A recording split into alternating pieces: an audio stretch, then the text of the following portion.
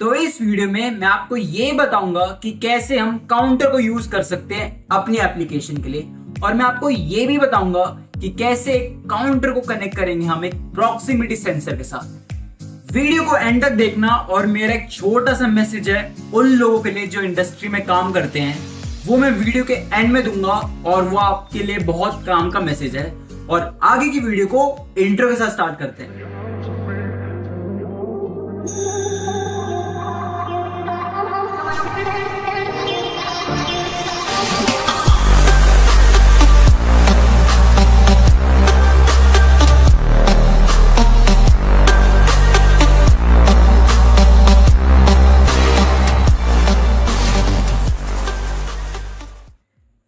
Automation में counter को हम यूज़ करते हैं, ये जानने के लिए कि एक बारी में कितने टारगेट पास हुए सेंसर के सामने से। काउंटर एक डिस्प्लेइंग डिवाइस है, जो हमें ये बताता है कि प्रोसेस में कितने टारगेट पास हुए। काउंटर मेजरली दो कैटेगरीज में होते हैं। एक होता है प्रीसेट काउंटर और एक होता है टोटलाइजर काउंटर पहले प्रीसेट काउंटर को समझ लेते हैं। प्रीसेट काउंटर का मतलब ये है कि काउंटर में मैंने एक वैल्यू सेट की। फॉर एग्ज़ाम्पल मैंने पाँच सेटिंग की मैंने काउंटर में, जैसी पाँच वैल्यू रीच होगी काउंटर मेरा आउटपुट दे देगा। तो होगा क्या? जैसी मेरा सेंसर है, मेरे सेंसर के सामने पाँच बार टारगेट पास होते हैं। जैसे ही मेरा काउंट पाँच पे पहुँच जाता है, मेरे को एक आउटपुट मिल जाता है। और उस आउटपुट के थ्रू मैं अपनी मोटर या रिले या कोई भी लोड चला सकता हूँ। जैसे एक रोबोटिक आर्म हो गया, मेरे को पाँच काउंट होते ही उस रोबोटिक आर्म को मूव करना है। तो काउंटर वहाँ पे काम आता है प्रीसेट काउंटर और जो दूसरा काउंटर होता है, वो होता है टोटलाइजर काउंटर और इस वीडियो में मैं आपको टोटलाइजर काउंटर समझाऊँगा. टोटलाइजर काउंटर बेसिकली सिर्फ़ डिस्प्ले करता है कि कितने टारगेट सेंसर के सामने से पास हुए. वो सिर्फ़ डिस्प्ले करता है, वो ये नहीं देगा, हमें कोई आउटपुट नहीं देगा यहाँ पे. वो सिर्फ़ डिस्प्लेइंग डिवाइस है. ये समझ लो दोनों के बीच में क्या डिफरेंस है और आपको अपने एप्लीकेशन के अकॉर्डिंगली समझना पड़ेगा कि आपको कौन सा काउंटर यूज़ करना है। अब एक बहुत प्यारा कंसेप्ट है, पर समझ लो जो काउंटर में जानना बहुत ज़रूरी है।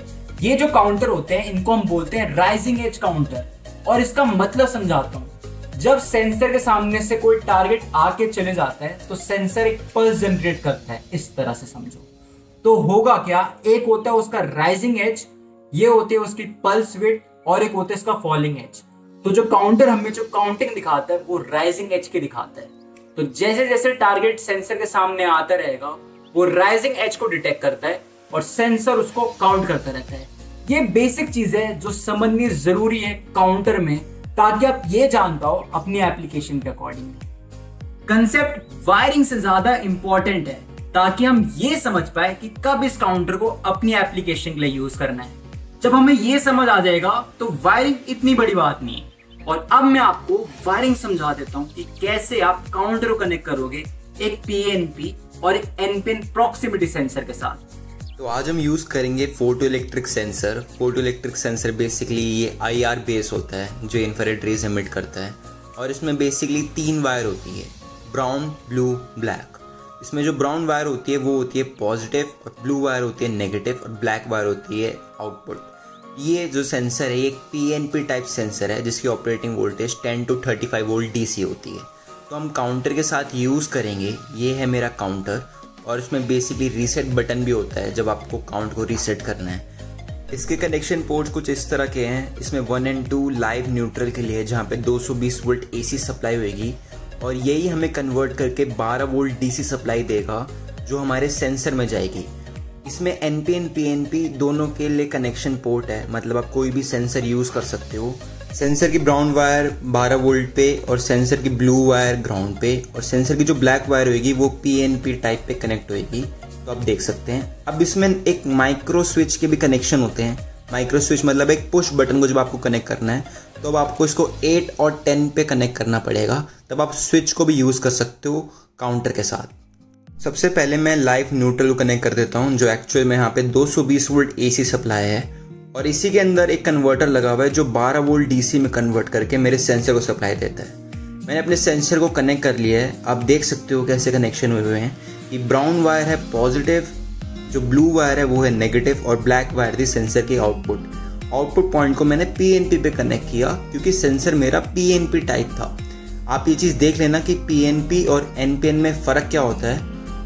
सप्लाई ऑन करो और अब इसके बाद हमारा काउंटर काम करने लग जाएगा सेंसर के साथ। अब जैसे ही कोई टारगेट सेंसर के सामने आता है या सेंसर की रेंज में आता है तो काउंट हमारा इंक्रीज करता रहता है।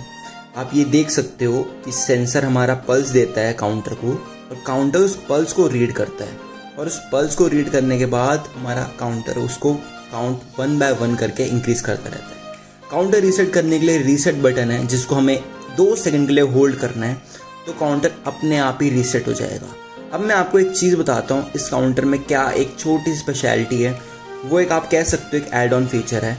अब आप ध्यान से देखो, जैसे काउंट सेवन तक गया। और अब मैं क्या करता हूँ, मैं इसकी पावर सप्लाई ऑफ़ कर देता हूँ। अब देख सकते हो मैंने पावर सप्लाई ऑफ़ कर दी। और अब मैं क्या करता हूँ, मैं दोबारा पावर सप्लाई को ऑन करता हूँ। मेरा काउंटर वहीं से स्टार्ट होएगा। इससे पता लगता है इस काउंटर में एक मेमोरी का भी फ़ंक्शन है, जो उस काउंट को होल्ड करके रखता है। रीसेट करने के लिए हमें रीसेट बटन दबाना पड़ेगा। मोस्ट काउंटर में जब पावर सप्लाई ऑन ऑफ़ करते हैं तो हमारा जो काउंट होता है, वो भी रीसेट हो जाता है। तो इस वीडियो में हमने ये जाना कि कैसे हम एक सेंसर को कनेक्ट करेंगे अपनी एप्लीकेशन के लिए। और हमने ये भी जाना कि आखिर काउंटर कैसे काम करता है। राइजिंग एज के बारे में जानना, जो जानना बहुत ज़रूरी है जब भी हम किसी एप्लीकेशन पे काम करें। अब वो लोग जो इंडस्ट्री में काम करते हैं, उनके लिए मैंने क्या किया है मैंने एक लिंक दी हुई है डिस्क्रिप्शन में। आप उसको जाके क्लिक कर सकते हो। उस लिंक में है क्या? वो बेसिकली एक पेज खुलेगा। और उस पेज पे आप ये लिख सकते हो कि आप कौन सी इंडस्ट्रियल प्रॉब्लम फेस करते हो। मैं ये बात जानता हूँ इंडस्ट्री में बहुत सारी प्रॉब्लम है अलग अलग सेक्टर में। चाहे आप टेम्परेचर वाली इंडस्ट्री में चले जाओ, जहाँ पे टेम्परेचर मेज़रमेंट की बहुत ज़रूरत है। चाहे आप लेवल मेज़रमेंट इंडस्ट्री में चले जाओ। हर इंडस्ट्री में अलग अलग प्रॉब्लम्स होती है। और मैं चाहता हूँ आप लोग मुझे वो प्रॉब्लम्स बताएँ, ताकि मैं उन टॉपिक्स के ऊपर सोल्यूशन निकाल के आपको बता पाऊँ। और मैं ये चाहता हूँ कि इंडिया के अंदर ऑटोमेशन बढ़े, ज़्यादा ज़्यादा बढ़े, वो तभी बढ़ेगा जब हमें ये समझ आएगी कि प्रॉब्लम्स क्या क्या हैं और उसके सोल्यूशन पे हम मिलके काम करेंगे। तो आज की वीडियो के लिए बस इतना ही। मेरी एक छोटी सी रिक्वेस्ट आपसे यही है कि इस चैनल को सब्सक्राइब ज़रूर कर लेना और बेल नोटिफिकेशन को भी ऑन कर लेना, जिससे जो आने वाली वीडियोस है ऑटोमेशन से रिलेटेड वो आपके पास सबसे पहले है। तो आज की वीडियो के लिए बस इतना ही। मैं आपको मिलता हूँ अगली वीडियो में। Thank you everyone